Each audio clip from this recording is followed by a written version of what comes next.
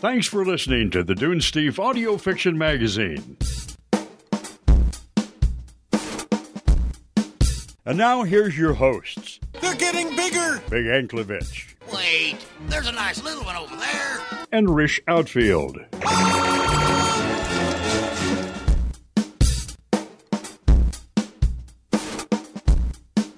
Is it safe?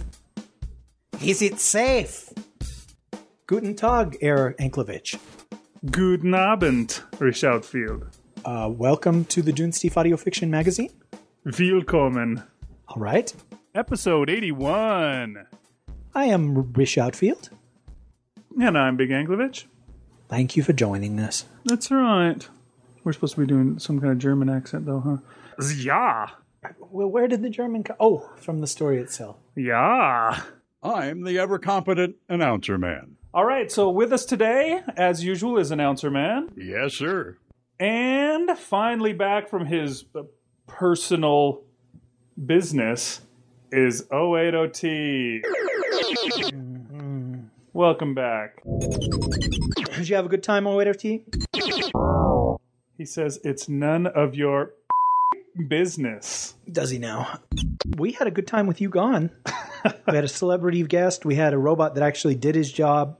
Good episodes, I thought. Well, I thought they were okay. You could learn a thing or two already. Have you checked out the uh, past episodes while you were out? Oh, he says he was on vacation and he had much better things to do than that. All right, well, See, that sounds like a loaded question, and we're supposed to say, "Oh, what were you doing?" But because I don't like the robot, I'm not going to ask. all right, well, yeah, you, you might want to check. You know, an interesting thing is we had ADRG here. Oh, you you know ADRG? Okay, yeah, he was here. Rish was really excited because he had the the sound chip. yes, that's right. It was great to be able to communicate with a robot on the same level. You know. All right. Well, uh, yeah, welcome back, Huedo T, and uh, it's good to have you. We have a story today as well. For a change. Yeah. Uh, today's story is Forests of the Night by Abigail Hilton. I saw Jenny. She was bleeding. Saliva filled my mouth like I was smelling a box of chocolates. I said to Lieutenant Dan, Hey, I- what are you doing, Rish? Forest of the Night. It's the Vampire Forest Gump. No, this is forest with one R, r- like, you know, with place with trees. Oh shoot. Crap. Now here I have to come crawling back. Would you ask the robot to edit that out, please? Wait, T, would you? Oh, yeah, he says good luck. All right, so uh, uh, when Abigail Hilton flopped, gasping onto the beach of a tiny unnamed key off the Florida coast, she was grateful that her audience included only a handful of seagulls, a raccoon, and one very surprised panther. The panther fled, along with the raccoon, but one of the curious seagulls hopped over to have a closer look at her. Moments later, now sticky with blood and feathers, she dragged herself into a tide pool. With the energy provided by her seagull meal, she formed a gelatinous cocoon where she lay dormant for months. She emerged looking almost completely human, with nary a scale or flipper. She walked up the beach and into the world where naturally she entered her medical profession. The scrubs and masks almost completely hid her gill slits. Come listen to her dark nautical fantasy, The Guild of the Cowrie Catchers at www.cowriecatchers.com. Uh, this may be the first bio that has a beginning, middle, and end, a character arc, and maybe we'll have music playing underneath. I guess, yeah. All right, so there you have it. We'd like to thank Julie Hoverson for lending her voice to today's story, and Liz Mirziewski, who, oh, wait, No, no, no, like, come on. You've gone to all the trouble of saying her name. but that's not her name anymore. It's something else. I think she got in a gelatinous cocoon and came out as Lizanne Herd. Lizanne Herd, thank you for producing today's episode and also narrating it for us. Wonderful work. She wrote the theme tune, she sung the theme tune. You can check out links to everything In, the show the show notes. The show. We've got a fabulous show notes here today. Forests of the Night by Abigail Hilton. Adele arrived at our small hospice late one afternoon. Her family, an impeccably dressed couple in their late 20s, hid behind sunglasses and surgically enhanced smiles. I wondered why they'd chosen our small establishment. They looked like they could afford something better. Adele trailed after them, an ancient woman following along like a lost puppy. She looked rumpled in her thin cotton shirt and trousers, somewhat stained. Her fine white hair gave the impression of a cartoon character who had just stuck a finger in an electrical socket. They told us she was 97 and in the final stages of terminal breast cancer. No, they just could not handle her anymore. Yes, she was confused, had been confused for years, even before the cancer. Yes, she had a tendency to wander. Here were her medical records, doctor's orders, and insurance information. Here was a very large check. Here were her belongings, one pitifully small suitcase. Here was their phone number. They would be in touch. Adele did not appear to understand any of this. A watercolor image of a woodland on the far wall caught her attention, and she stared at it while her grandson and granddaughter in law talked to the hospice administrator. I watched her family drive away and knew they would not be in touch. She had become a burden and an embarrassment. They would pay her bills and return only to collect her body. Looking at Adele, I did not think they would have long to wait. She was pitifully thin, with almost transparent skin stretched over webs of blue veins. Her eyes were a watery blue gray. I introduced myself, but she did not seem to hear. I took her hand to lead her to a room, but she resisted. The painting had her full attention. The forests of the night. She muttered in a thick German accent. She touched the picture, looked at me. I felt sorry for her. How old were you when you came to this country? I asked. I did not expect an answer, but she said, 317. I smiled. She sighed. We all get old, eventually. I nodded. Yes, we all do, I want to run again. she whispered. That might be dangerous for you. Her toothpick legs did not look fit for walking, let alone running. Over the next few months, I revised my opinion of Adele's mobility. She was the worst wanderer we'd ever had. She was docile when accompanied by a staff member, but given the slightest opportunity, she would escape, and not always via the front door. The staff caught her crawling out of windows, through fire exits, over the garden wall. Fortunately, she was slow and weak, and easy to catch. She never argued when we brought her back, just looked wistful. Our hospice grounds bordered an orange grove, and she always headed in that direction. Once she succeeded in escaping for an entire day, and was found completely naked the next morning on the edge of the trees. She'd even removed her denture. She cried when we brought her back. I have forgotten how to verwandeln. Then she began muttering in German. Oh, meinen Gott, die She had moments of lucidity when she would talk of her children in their infancy, of lovers long dead, and of forests. Always of forests. She would sometimes forget how to speak English and would prattle gravely in German for hours. Meinen Gott, die Vogelen schweigen. Adele had other eccentricities. She craved meat, but wanted it undercooked, in spite of the fact that she hadn't a tooth in her mouth and her much abused dentures could not handle rare steak. She hated to bathe, but if not carefully supervised, she would jump into the garden fountain and splash and sing and undress. She took off her clothes frequently in all kinds of places. I could understand why her family had become frustrated. Still, I wished they would at least call her. One day she said plaintively, I've been dumped. and she rocked back and forth. They should have put me in a sack with a rock and tossed me in the river. Oh, honey, no, no, no. I held her hand. She forgot about it a moment later. Then, one day, Adele stopped eating. We encouraged her, spoke gently to her, but she said she was not hungry. This was a hospice, after all. People came here to die in peace. There would be no feeding tubes, no CPR, nothing to prolong her suffering. Her family was notified. I wished they would come to visit her, but they did not.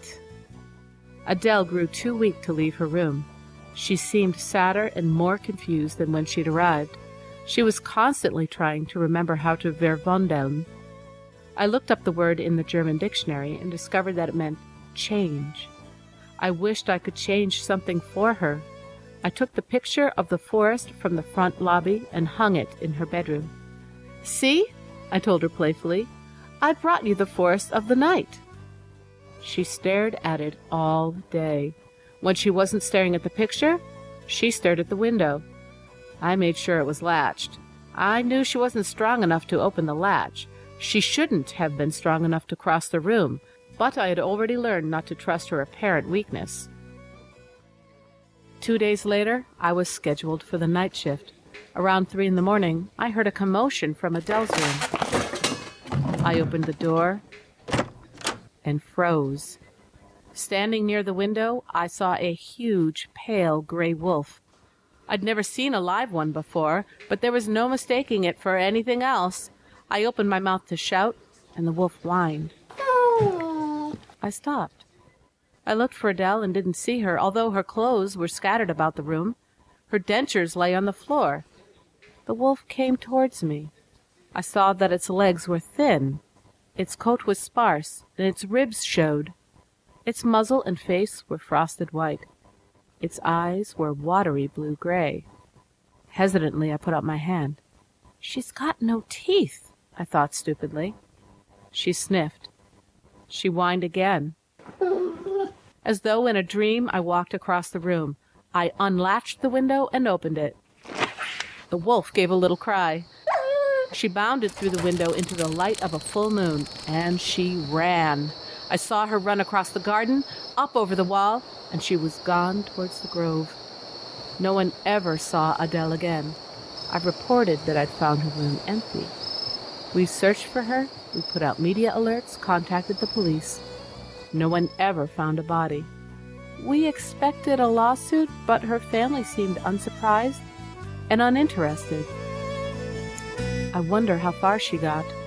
Probably a long way. I like to think that her old heart gave out running through the moonlight and the trees, through the forests of the night.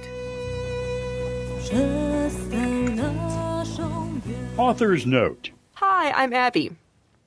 A few years ago, I heard a short story in which an old lady makes strange requests for raw meat.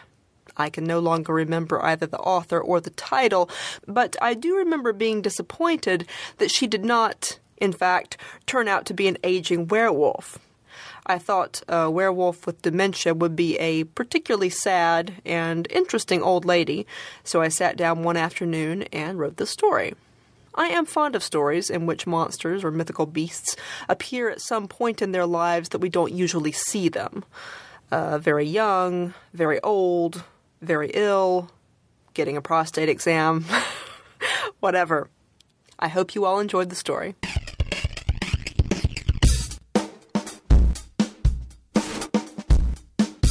Have we ever left in the in we're back? I don't know. You do that every week now. I do because People I've are- run out of ideas. People are sick and tired of you doing the same old thing, making fun of me doing the same old thing. Well, I see. I'm spent after the whole uh, celebrity Transformers guest. Yeah, that's what I heard. okay, so we are back. I guess that was a story. That was very short. Yeah, it's shorter than uh, our normal fare, but it was good stuff, I thought. She said that she had been inspired by reading another story and expecting it to go a certain way, and then being disappointed when it didn't. Uh huh. I've got so many stories that are like that, uh, where I'd be watching a TV show or a movie or reading a story and going, ah, I know where this is going. This is going to be really cool. And uh, it didn't go that way. And Uh-huh. I'm just bummed. I'm like, wow, I, my idea was better. Yeah, so you just come up with a different scenario that can lead to that same ending. Uh-huh. Have you ever done that? I think so. Yeah, I think that's a pretty common. Just the whole I thought it should be like this and this would have been better kind of a thing. Just seems to be a pretty standard thing that people who like to write do, and, and you know that's what they wind up going into writing. It seems a lot of time where people are just like, this could get published. I could do better than that, and so they set out to do so.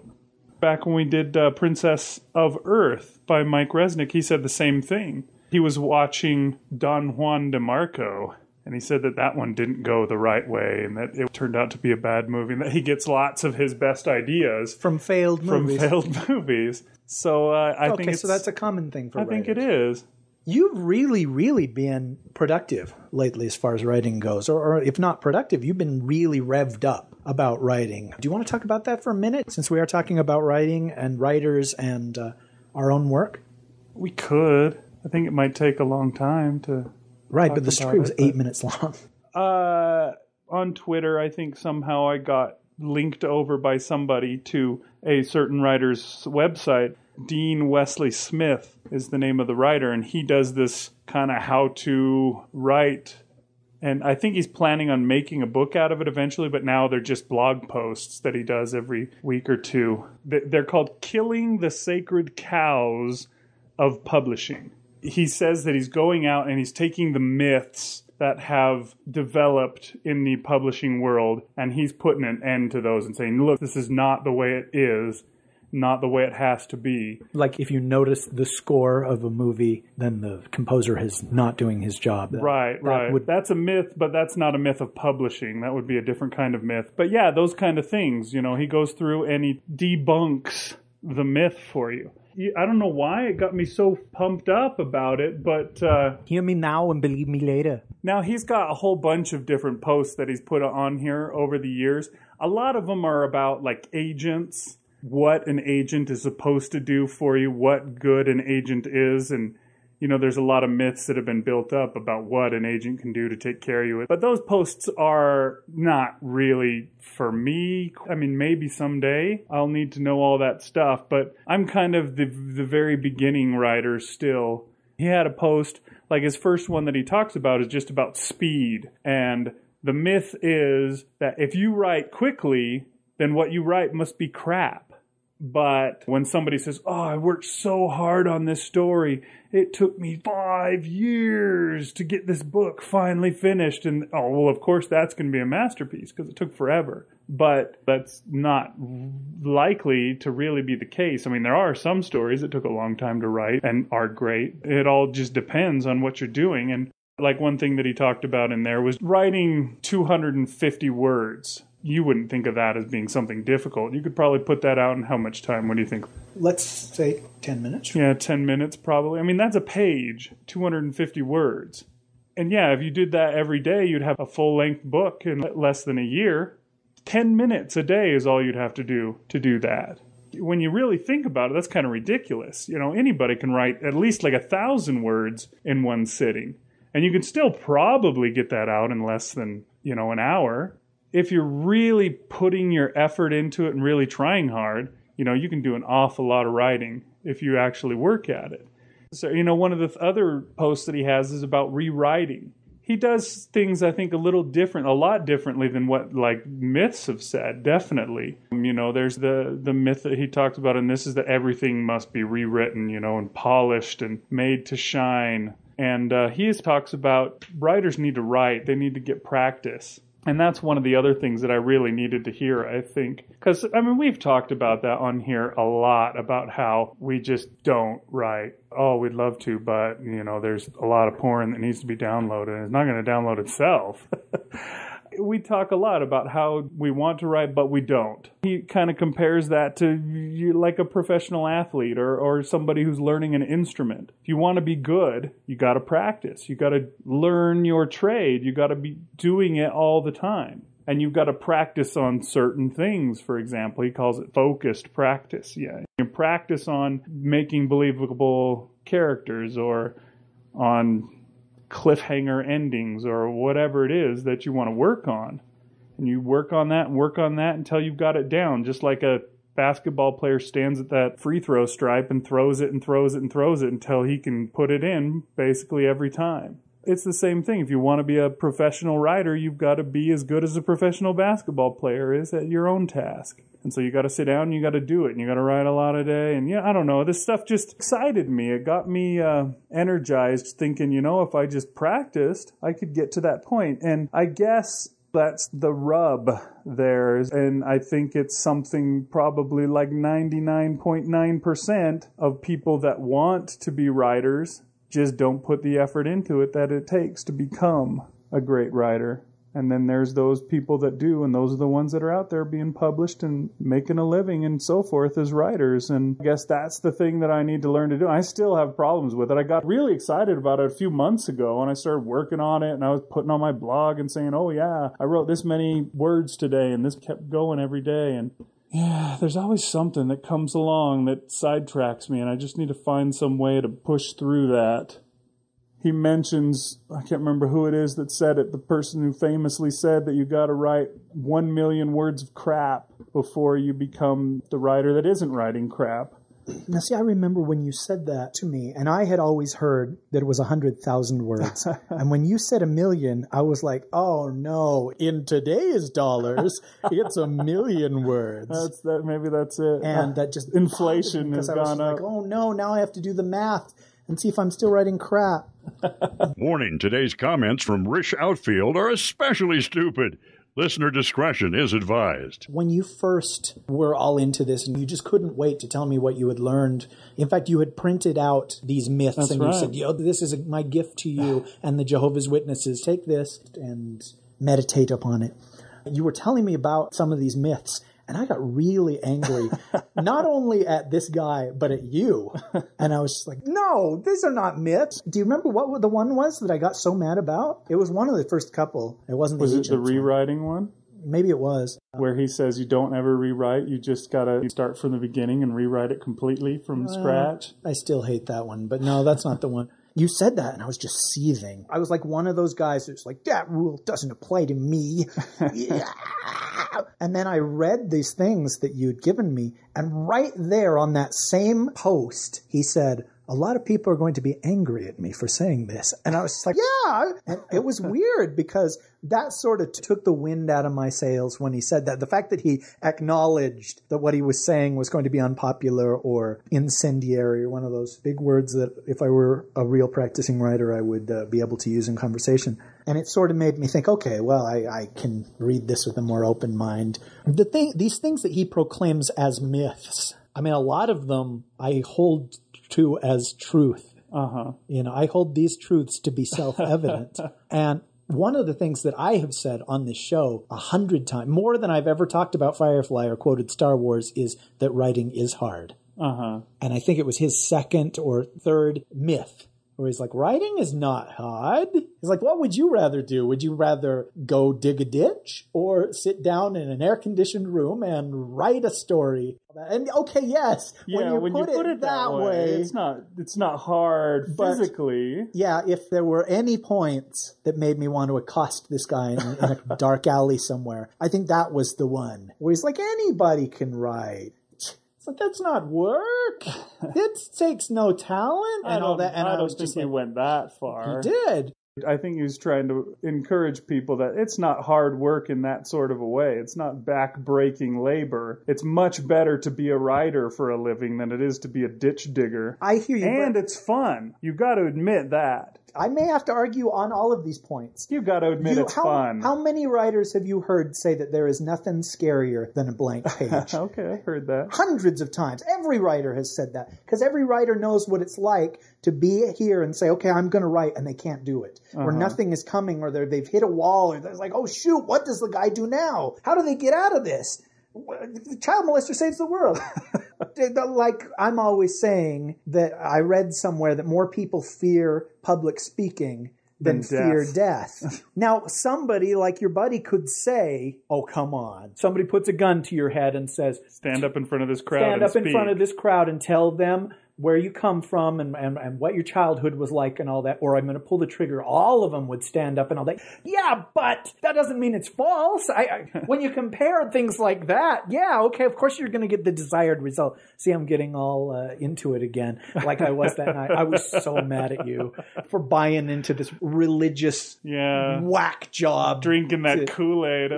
Oh man, I was so gone. The, the night time is the right time. But here we are again. Okay, but but it lit a fire under you. It and did. reading these things about him, I mean, okay, the one that you were going on and on about was just write it, just get it out there. Don't sit and dwell on every single word and say that it has to be perfect and do all this stuff. Just write it and move on and go to the next story because you'll get better as you go and on all that stuff. And I was just like, well, but what about these three stories that I just wrote? And he's like, F them. and I was It doesn't say F him. He He, says does. it's move on. he says, Send those are the past. stories out. Never, don't look back in anger, my friend. He's Is telling you song? don't just keep rewriting them and rewriting them and rewriting them until by the time you're done, they've still six years later never seen an editor. Nobody's ever looked at it to see. Oh yeah, I will buy this. Okay, when you put it that way, again, gun to my head, I agree with you. but when he talked and when you were talking that night, I was just so angry. We're just like, ah, I worked for three months on this. How dare you say it's not work? Or whatever it was, you know, just I became Wallace Shawn. And that's not a good thing, folks. Yeah. I was bitten by Wallace Shawn on a moonlit night, and now, when the moon is full and bright, I too say, inconceivable! It's really kind of ugly when that happens. Okay, I will be quiet and let you talk. Now. But that's an important thing. Like you said, you got to practice. And rewriting, he says, isn't practice. That's like tinkering. That's like sitting and erasing a tiny corner or something off of your drawing that you've done and maybe coloring it in slightly different. Oh, wait, no, I'm to, oh, oh, wait. And you just keep messing with it and messing with it and messing with it and never moving on and practicing further. You, you, maybe you don't agree with that, but that's something I just needed to hear because I haven't written that much. I mean, you've got story after story. I mean, you could just pull out a trunk and it would be friggin' full of printed out papers dating all the way back to 1984 when you wrote the first one about the pumpkin patch in your third grade class or whatever.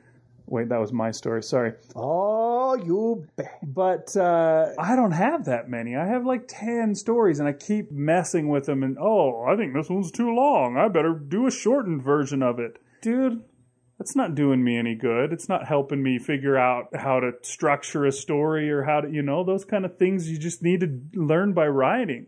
A lot of this stuff, I just wish I'd heard somebody say this stuff 10 years ago or more, so I wouldn't have wasted all that time doing things the wrong way and spinning my wheels and going nowhere. Now I'm spinning my wheels because I'm lazy and lame and not writing again, sadly. You know, I was so excited a few months ago, but since that day came and went, life has conspired to make things difficult. And so, yeah, here I am not writing again. And I think what I need to do is print some of these ones that were the most inspiring out and force myself to read them like once a week so that I keep in mind what it is that I need to do and keep that goal in front of me or This is some kind of religious conversion you're talking about.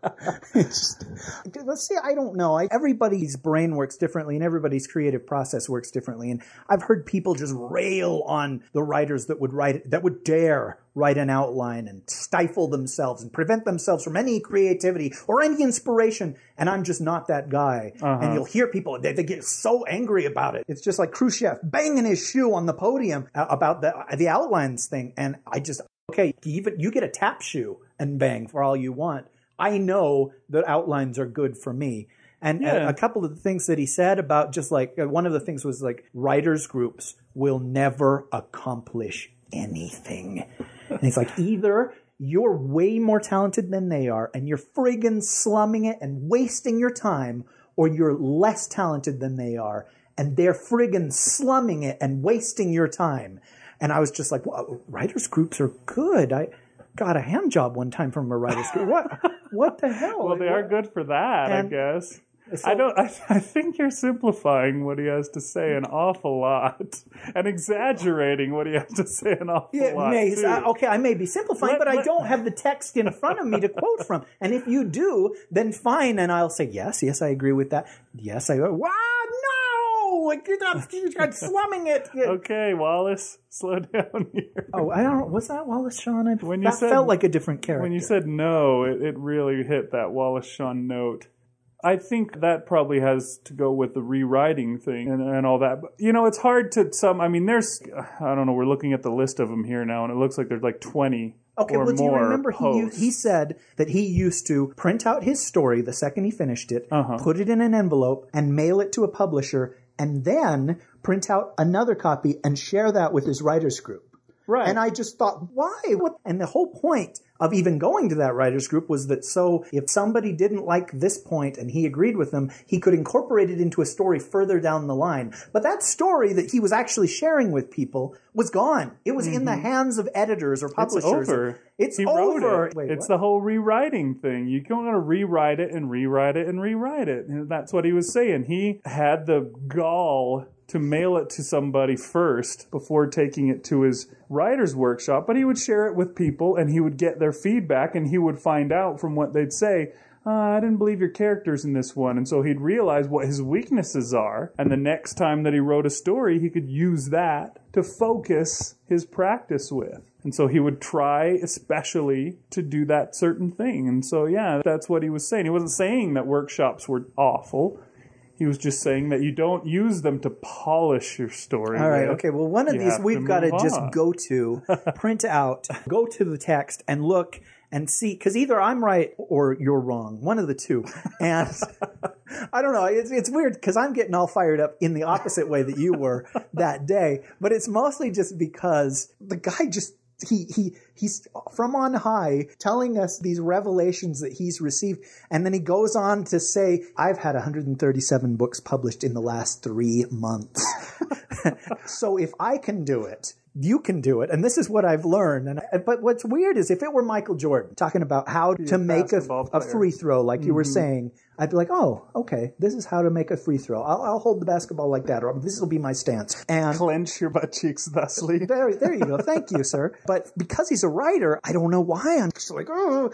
And maybe that was what he's talking about. That I'm going to anger a lot of people with the things He I'm about to say, He does say. that pretty much every post. He says, "Oh, this one's going to make people mad," and then he goes on to say the things that sends Rish bouncing around the room like uh, a gummy bear from that old cartoon. Did you ever see that cartoon, The Gummi Bears? No, I was having sex during that. You were not. Come on, sir. All right. See, it just doesn't work when I say it, does it? It's, That's not totally unbelievable. You said it, Big. So you clicked on this for any particular reason? I just figured this was one of the ones, the incendiary ones. And This one actually I really liked just because he just talked about it. He was saying, yeah, 10 to 15 minutes, you get 250 words. Hour, you get 1,000 words. 90 days, doing an hour a day, you've got a 90,000 word book. how dare you invoke math in my presence? He does math a lot in his things. But, you know, I still stand by the statement that it is hard to write. It is hard to sit down, make yourself do it. When there's a thousand and one different distractions, and that's just the pornographic ones, there's sleep to be had, there's a hundred responsibilities. That's true. There are things that are easier to do than writing by far. Sitting on your butt and watching a movie or a TV or something like that's much simpler because you don't even have to type when you're doing that, and you don't usually have to think. It's a different kind of hard than digging ditches, definitely. I mean, unless you have a crappy chair after a day of writing, you're not going to be like, oh, my back, it's, ah. You're not going to fall onto the bed and be like, oh, I'm so exhausted and fall right to sleep or something. But it's work. You have to really think, and you can't compare writing to basketball or something like that and then say it's not hard because basketball, that's physical, that's a lot of work to do in the similar way that writing is. Yeah, you've got to go out and you've got to practice. You've got to learn and you've got to work and you've got to really think about writing. But it's fun. And so is basketball. That's why people do it. And so are, you know, sports and so are uh, playing music and things like that. They're rewarding in their own way, but they are hard work, just different kind of hard work.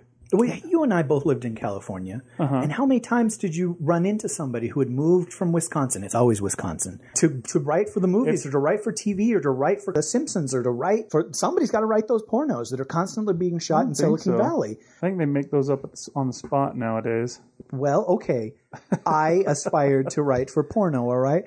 And you talk to them and be like, oh, so you came here to write. And they've never written a script before. And they don't know how the formatting works. They've not bothered to learn can't any of this stuff. But that's their thing because it's so easy or whatever. But they've never done it.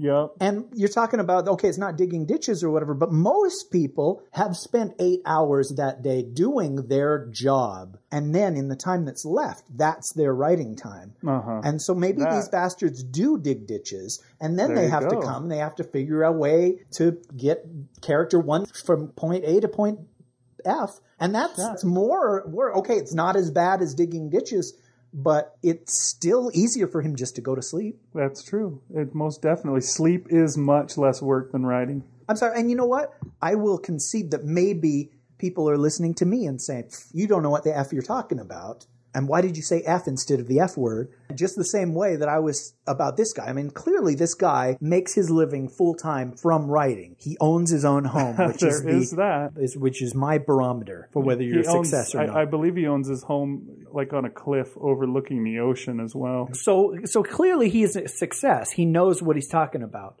But I have listened to King talk, Stephen King, multimillionaire, and I've disagreed with the things that he's had to say too. You know, it's uh-huh. just Well, I mean that guy gets up at eight o'clock in the morning and writes until five thirty or six o'clock every single day. That's a job for Yeah. that guy. And so clearly that is work. Yeah, that's true. You know, one thing that he does say, and he, he said this in a very recent post the myth that he's debunking is that there's only one way.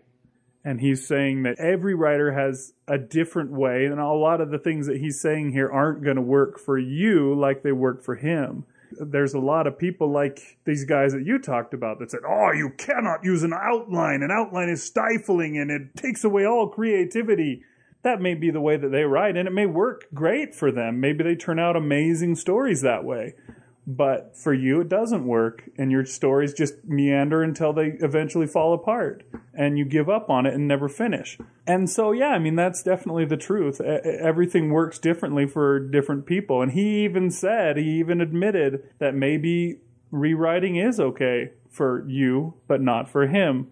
So, you know, I guess you got to keep reading them. And I, I think he, as he writes these posts, is opening his eyes a little bit to the way things may be out there. And, and, you know, he started out saying, yeah, you don't have to have an agent until you've already mailed your book into an editor and an editor has said they want it. Then you get the agent and the agent will negotiate the contract for you.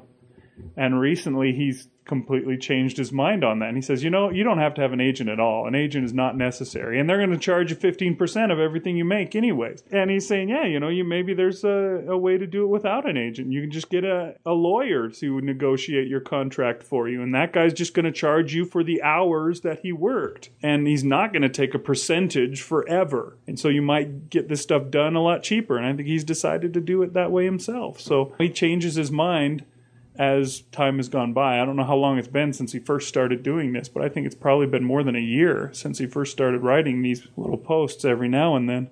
I've found recently that they've become much more agent heavy, much more talking about whether you need an agent, what an agent should do, how agents rip people off, etc., etc., etc. He's he's really gotten onto that kick. Well, maybe that's something specific that he's mentioned that other people aren't talking about. That beginning writers or writers that have just gotten their feet in the door really don't know. And they're like, well, hey, I know how to rewrite or not to rewrite, or Right. writers groups or whatever it might be.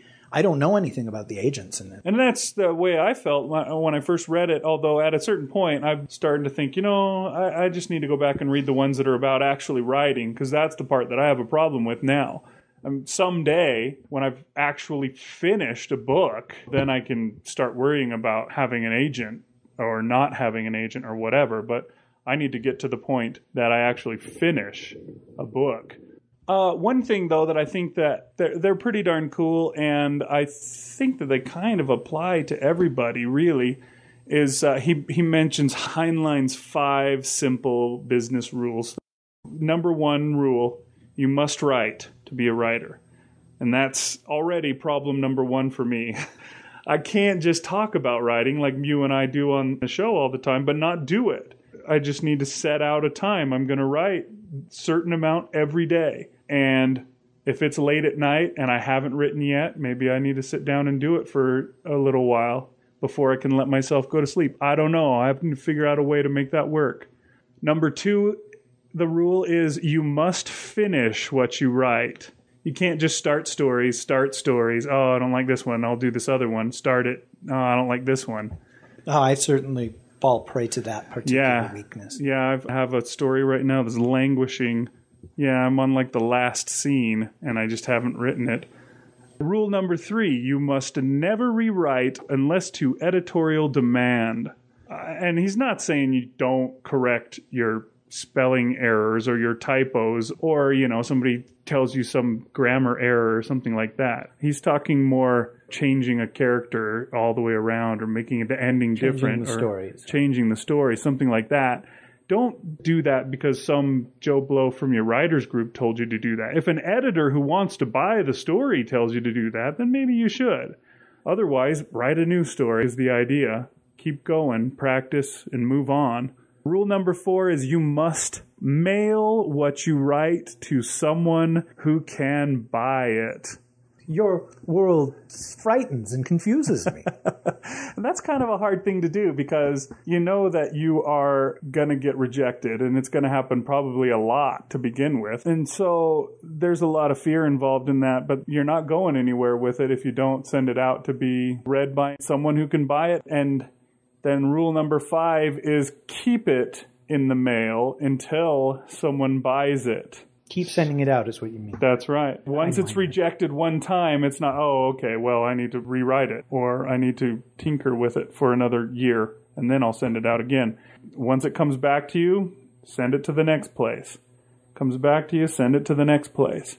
Also, recently, I was reading what Tobias Buckell had to say about his experiences becoming a writer and learning to write. He was saying that he wanted to get published, but he couldn't really set as a goal, I will be published by this time because it wasn't a goal that he was really in control of, you know? An editor has to look at it and say, okay, I want to buy this. So instead, he made a goal of, I'm going to try and get 100 rejection letters in this year.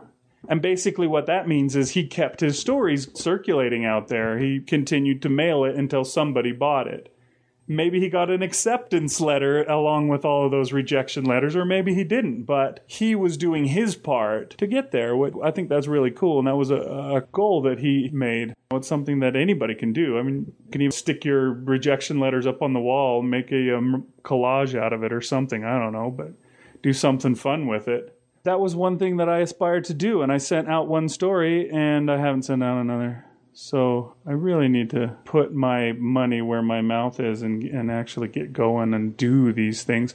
Anyways, I'd recommend reading these blog posts that Dean Wesley Smith has done. Whether you agree with them like I did for the most part, or don't agree with them like Rish did for the most part, if nothing else, they are something that can get you thinking about it and uh, maybe there'll be some things that'll really inspire you and work for you, and you can get moving and uh, and become the Tiger Woods or the Michael Jordan of writing. I don't know. The, the Mary Lou Retton. There you writing. go, perfect ten. You know, I don't know if people dig listening to us talk about writing. I know there are some people that say, hey, you should talk about writing all the time because you guys are both writers and you have writers on the show. And, and then there are other people that say, oh, I love it when you guys do top 10 lists or I love it when you do ethnic stereotype voices. So if you like us talking about writing, dude, we could go on. We could do a three hour episode just Yeah. talking about what we all, I always wanted to talk about writers groups and what uh, my writers group experience was like.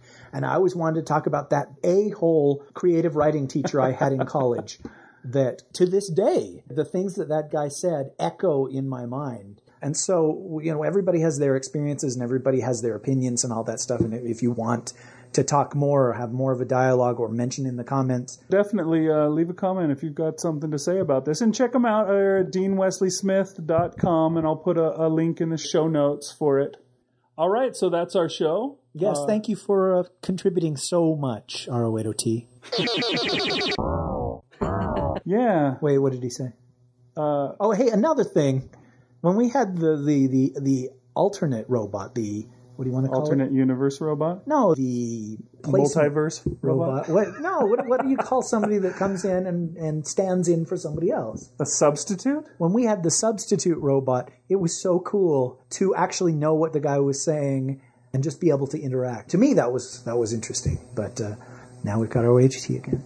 So uh, there was a time that I actually considered because you know that's an upgrade that we can get for 080T. Do you think we sh- should see if we can get 080T a voice chip? Oh, but then I would be able to hear the horrible things that he says to me or about me. Well, there is that. I don't know. I is it expensive to get something like this? A little bit. I don't. Maybe. How about this? If we get a donation, then we can get 080T a voice chip. What do you think of that? Oh, well, that's fine because we're not going to get a donation. I mean, people don't donate when we say uh, we pay our authors and we want to be able to bring more stories that aren't written by me to the air. You really think people are going to donate when it's like, oh, I want to hear him say "f you, Rish"? You might be surprised how many fans 080T has. okay, that, that there you go. Cliffhanger ending, as you mentioned like an hour ago. I think that that'll be it. We didn't talk much about the werewolf story, and I'm I'm a little embarrassed about that because I love werewolves so much. Uh, somebody corrected me, sir, to when my wife tried to prevent me from doing my duty. I corrected her. Somebody corrected me on my werewolf lore, and it Uh huh. drove me bug bug to use the parlance of the others. when I said the Siodmak version of the werewolf, nobody was like, "Oh, this guy may know what he's talking about." They just instantly assumed that I was an idiot. Or, a, but so we won't talk about that or include the tard line in this episode. Uh, I, I do really like werewolves, and I like the idea of a, a woman who doesn't realize that she's a werewolf. That's pretty cool. I, I think the woman realized she was a werewolf. She just couldn't remember how to transform anymore. oh, I guess I should have paid attention. We did finally get a werewolf story in, though, or did, we already had one, didn't we? What was the other story? That we just... Like cats and dogs, Ah, yes, that one had werewolves of a sort in it, very popular episode of ours. and this one had werewolves of a sort as well. Okay, so So we we're we really need a vampire covered. story, though. 'cause Werewolves are kicking butt these But, well, days. what about that one about Forrest Gump and he, he gets infected by Lieutenant Dan? You- oh yeah, yeah. You know, I, I don't think that actually happened. Oh. I think you're imagining this whole thing. oh, but wait, you know, there's one thing. Abby has the other podcast. I mean, we've mentioned Oh, the it Cowry already. Catchers one? Yeah, the Cowry Catchers. Yeah, we both do voices on that. You're multiple characters, and that's still going, right? yes, she sent us out a new uh, promo to go with that. So maybe we ought to play that while we're here. I mean, it's her story today and everything, so it would make a lot of sense. And you and I will continue to fight during the promo. All right, that's perfect. Roll that 080T. For 300 years, the sea dragons have ruled as gods over the islands of Wefrivain. They have used us as slaves, as food. Their priesthood's authority was unquestioned. Until now. I am Gwaine. Together with my guild of pirates and rebels, I'm taking on High Priestess Morchella and her wyvern masters. We sink her ships, steal her riches, assassinate her lieutenants, and spread the message of freedom throughout the islands. Now she sent someone to stop me Gerard, the latest captain of her temple police. Unlike the others I've killed, he's smart, capable, even honorable. Under other circumstances, we might have been friends, but he's working for the wrong side. I will free my people, no matter what. If Gerard wants a hunt, I'll give him one. Guild of the Cowry Catchers, a fantastic high seas adventure by Abigail Hilton, featuring the voice talents of Nathan Lowell, Norm Sherman, Kim the comic book goddess, Chris Lester, and many more. Now playing at cowrycatchers.com. That's C O W R Y, catchers.com. Catch me if you can, Gerard, before I catch you. Okay, if that doesn't make you want to listen to it, I don't know what will. Bisexual Norm Sherman. There you go. So uh, since we recorded last, the Parsec Awards have come and gone. That's right. Yeah, they did come and go. And I, I just mentioned Norm Sherman. The Drabblecast won, uh, what was it? Best Best um, speculative fiction magazine or anthology podcast is what he won. and rightly so. That's Yeah. a great podcast. Uh, You probably already know if you if you listen to us. In fact, right about the time this episode's hitting, you and I are helping him on yet another episode. That's right.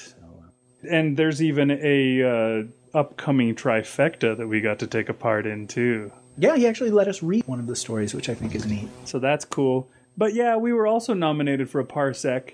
Ours was best short story. Right. And, of course we didn't win. I mean, I didn't really expect that we would, especially once I saw that the name Scott Sigler was also among the nominees. And he uh, ended up winning. He did, yeah. I think he got like four nominations this year.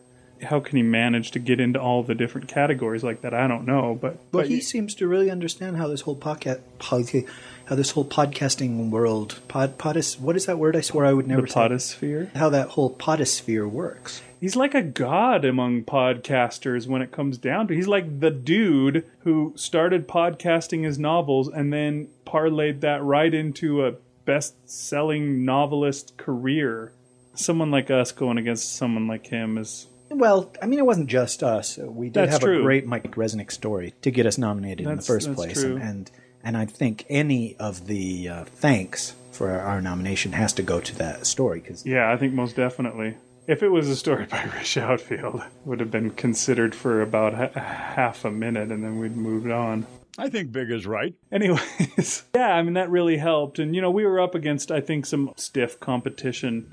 there was a Tim Pratt story. Yeah, the Tim Pratt story. There's that uh, The Things by Peter Watts. And I know that uh, Peter Watts is getting a fair amount of love because of the trouble that he's had within the last year. Stems from a crossing of the Canadian border where he tried to go across and ran into uh, problems with the border guards that wound up in him being convicted. With that kind of competition, the fact that we got nominated, I thought was really cool, and I was pretty excited about that. And as far as it goes, that was really enough for me to be considered a, top five podcast is, is something pretty special, I think, especially considering how many podcasts there are. Something you can hang your hat on. Cheers, guys. So they send out a little Parsec finalist thing that you can put on your website. And so I went ahead and banner? threw banner. Yeah, you could call it a banner. Button. button. Yeah, you could call it a button. You could just call it a picture too. Some some people call it a sling blade. so I went ahead and threw that on there um, onto our site just so that we could boast and brag a little bit. Not that anybody ever goes to our site, but you know, it's all good. One other thing before we finish. Last week we talked about that podcast that you did the reading for. It was that word that I can't say. Cast macabre. Macabre, wasn't it? Yes. Okay. Thank you. We talked about that story. Well, they sent us over a promo to play, and since we played Abby's promo, I figured we might as well go ahead and uh, play theirs as well. It's short and sweet. Barry's gotten a lot of really good readers to do stories. He got Alasdair Stewart on there. He got Oh, Norm cool. Sherman. So I'm in great company there. Nice. We'll be right back after these messages. Oh, the horror! No pseudopod until October. How will we cope? If you're missing your weekly dose of horror audio fiction, check out Cast Macabre at castmacabre.org and in iTunes.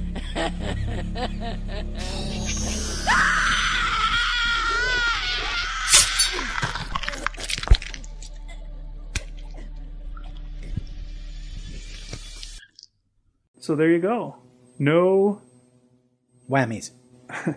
no pseudopod until October. So this guy can just slip right in there and fill that terrible void.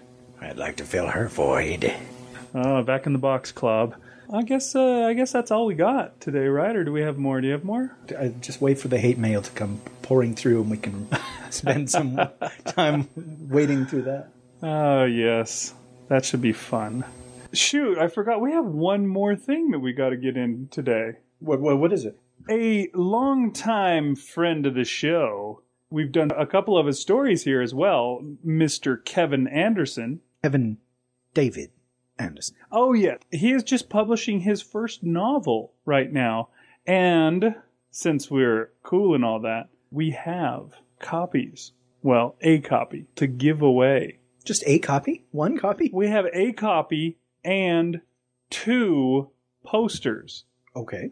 of his first novel. Now, his first novel is called Night of the Living Trekkies by Kevin David Anderson and Sam Stahl. A collaboration, which of course we long since decided that we just can't do. I can't do a solo story either, but that's beside the point. We have two copies of Night of the Living Trekkies. You know, one of those was actually supposed to be for us to read, and so we can give our opinion. Should we give it away, or Look, by the time this episode airs, I'm sure I could read a, a you know a zombie Star Trek story. I, I, it's Oh, right okay. up my alley. So That's true, yeah. Um, okay, so we have two slightly used copies of Night of the Living Trekkies. We would like to disperse to the community. And we also have two posters. what do the posters look like? Is it just the They cover look like the cover. A dead Trekkie. Undead, sir? Oh, sorry, you're right.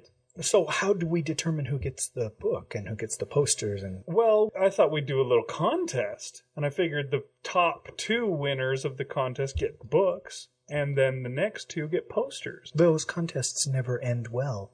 Yeah, that's true. We'll be lucky to get four entrants. But So that there- makes it easy. There is to that, but send that those- does make it easy. Maybe we won't have to give away both these books.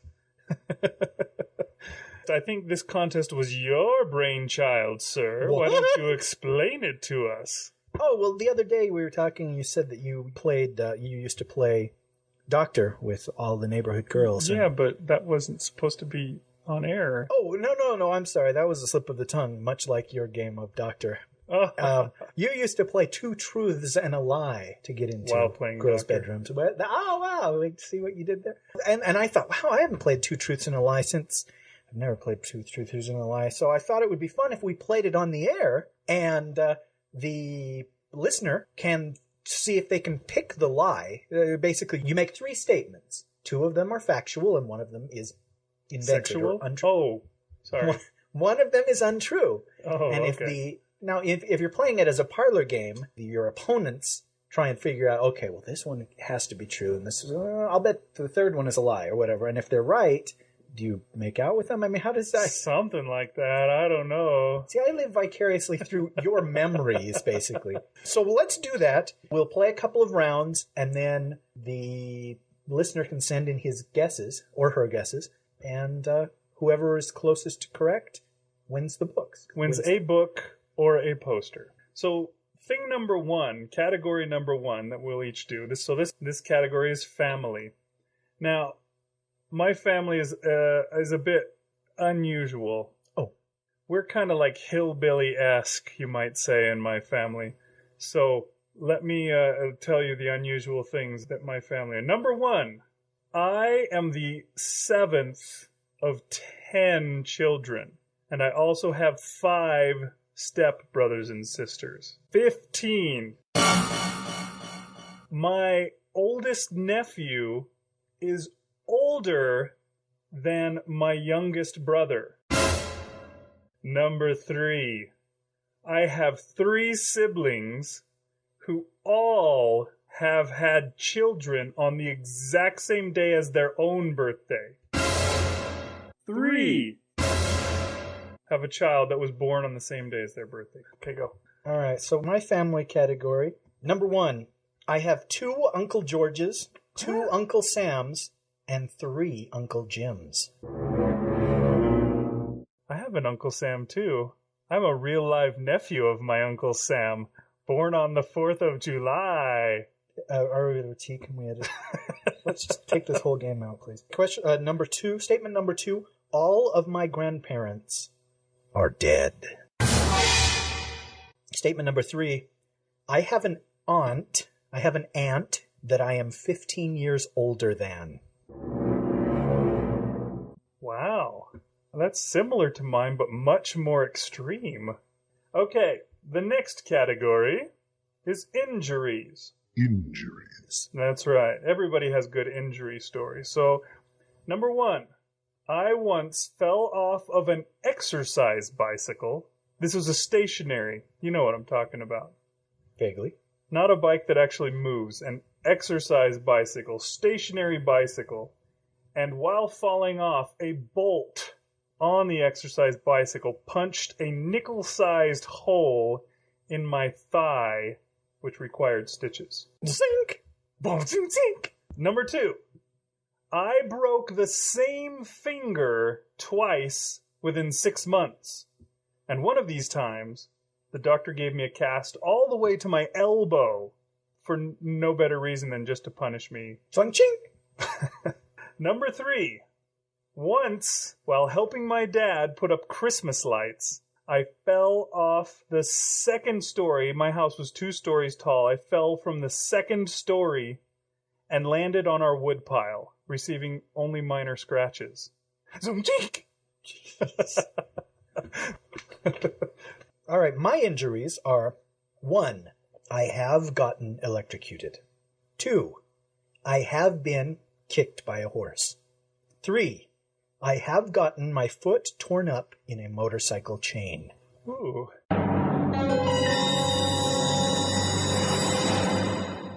Okay, so because Kevin's book is about Star Trek, Uh-huh. I thought we would have a round where we discuss Star Trek. Oh, so okay. should I go first or should you go first? my Star Trek falsities and truities.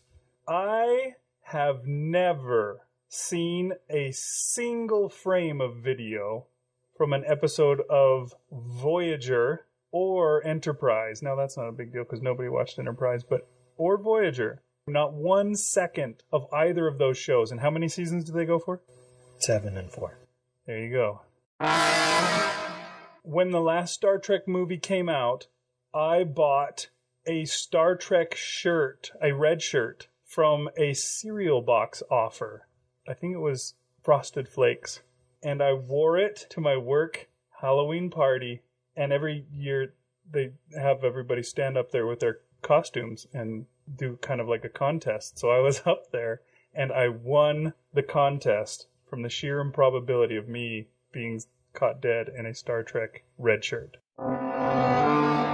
Or I have seen every single Star Trek film ever made, including being their opening weekend to see the worst of them all, The Final Frontier. Or is Nemesis the worst of them all? Which do you think? I like Final Frontier much more than Nemesis, Yeah. but I think Okay. people tend to say the fifth one is the worst. I'm done. Okay. so my Star Trek Two Truths and a Lie are one, I once said "Oh bye" to George, Mr. Sulu, Takei. No way in hell. Next. Number two, Sir Patrick Stewart and I have the same birthday. No way in hell. Stop it. Next. And number three, I once put my arm around William Shatner. Did you get aroused? I, I think that would give away whether it's true or not. So Oh my. Okay, and we're also going to do the zombie half of this. So here's my two truths and one lie about zombies. Number one, I once played a part in a zombie Christmas story. Now that's ridiculous. I've done it. Number two, last year I dressed all three of my children as oozing zombies for Halloween. There's pictures.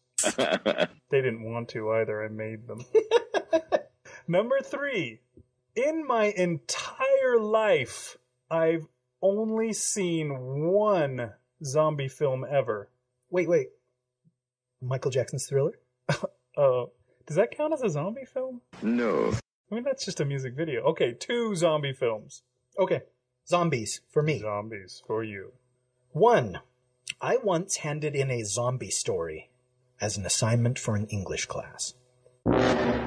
Number two, I own George Romero's Zombie Trilogy on videocassette, but not DVD.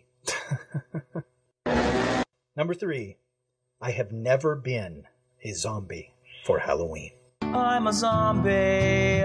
I'm 16. All right, so there's our contest, folks. If you want to hop onto the computer and send an email, tell us which one you think is which. I guess if you could get all eight of them, then we'll go by whoever gets theirs turned in first. And, And just then- send that to uh, editor at dunesteef.com. That's right. And we'll send you along a beautiful, shiny new Night of the Living Trekkies by Kevin David Anderson and Sam Stall. Uh, While we're speaking on this subject, we do have finally Yay! a zombie related story coming up. Two. Two, okay. Hello. And, and so we thought, since we're asking people to participate in the show anyway, uh, yes, you may donate. But Oh my. also, if you have a microphone and you are up for it, we would love to have people record some zombie moaning and some zombie, you know, noises. Growling and groaning and Um, just so that we'll have a whole bunch of zombies to sounds to overlay in that episode. Uh, What we were going to do was just email all of our contributing voice actors and have them do zombie sounds. But So you're now put on notice, contributing voice actors. Please send us some zombie noises if you would. but if you are listening and you'd like to do that, just record them as an MP3. You know, just a, a, a little bit of that eerie, you know, the Yeah. kind of thing, and then maybe more of uh, you know zombies attacking, Right. louder, scarier, uh, not scary, louder, more uh, active. Aggressive. Aggressive. There you go. And that also just send to editor at dunesteef.com, right? That's right. And you will have a what do they call that? A walk on part on a dude's teeth. A shamble on part. there you go. All right. So I guess uh, that's the show, eh? oh well, yeah. Until we come up with another thing we forgot to mention. Well, thanks for listening, folks, and please donate so 080T can unleash his fury upon the world. Don't donate. Just spend your money on filth. There's much filth to be found. It, it varies in price. All right. Although, really, with the internet now, there's no need to ever spend a dime on filth. I suppose so. All right, so I'm Big Anklevich. and I'm Rish Outfield. Thanks for listening, folks. Good night. The Dunesteef is released under a Creative Commons Attribution, Non Commercial, No Derivatives license, so you can share the show with whomever you'd like, but you cannot charge for it or alter the show.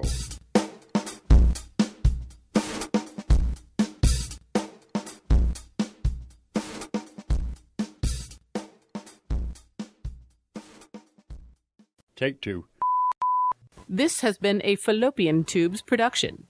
Take that, bitches! Well, where did the German come? Oh, from the story itself. Yeah. Fallopian tubes. That also came from the story. bitchels. That's the strangest thing. I- it's Is that the name of her production company? Would she go that far? No, I don't think so. I think she was just saying that because it was all women involved and not us. Have you ever seen a fallopian tube? Now, It's all right. We're all friends here. Like, you know, on the- on the side of the road when you're driving at night. I don't or- think so. I have forgotten how to verwalden. I have forgotten how to ver- I looked it up. Hold on. I have forgotten how to verwolden. Verwandeln. Verwandeln. I have forgotten how to verwandeln. Verwandeln. Verwandeln. Verwandeln. Verwandeln. I was looking for something that was clearly public domain. Sorry. Um, I'm going to mutter something from Goethe. As I said, it's not going to be anything otherwise, so I might as well give you something, but it's either that or the lyrics to Rock Me Amadeus. So, über allen Gefällen ist Ruhe, in allen Wipfeln. Spürst du kaum einen Hauch, die Vogelein schweigen in Wälder, wird nur bald ruhest du auch. Auf die Schwäbisch Eisenbahn gibt's Garvile Station, Stuttgart um ein Biberak, Meckebura, Tullesbach, Trulle, Trulle, Trullala, Trulle, Trulle, Trullala, Stuttgart um ein Biberak, Meckebura, Tullesbach, Trulle, trulle, trullala, trulle, trulle, trullala, was uns sonst das Poston blies, pfeifet jetzt die Lokomotiv. It's an old kid's song. I'm not sure if it's even close, but it gives you something to work with. Character who had just stuck a finger in an electrical socket. Character who had just stuck a finger in the who had just stuck a finger in an electrical socket. Who had just stuck a finger in an electrical socket. Who had just stuck a finger in an electrical socket. This has been a Fallopian Tubes production. Take that, bitches! Yeah, we'll F you too.